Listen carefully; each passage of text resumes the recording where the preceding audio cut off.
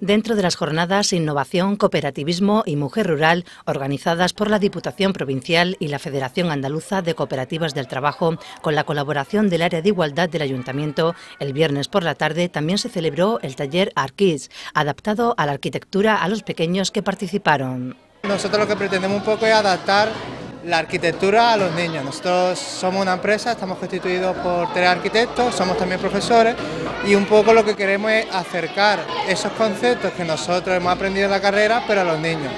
Ya que consideramos que la arquitectura tiene mucha parte de matemáticas, tiene mucha parte de ciencia, de física y sobre todo para que los alumnos desarrollen la capacidad espacial, la capacidad de poder imaginar eh, figura en tres dimensiones es algo que muchas veces si no se desarrolla desde pequeño es muy difícil conseguirlo. En el taller los pequeños participaron en grupos para conseguir los retos que les plantearon los monitores, una forma de motivarles para que desarrollasen su creatividad trabajando en equipo. Por ejemplo, el día que le planteamos la torre, pues ellos en grupo tienen que idear, ver cómo construir la torre más óptima y más eficiente y eso sí, lo más alta posible.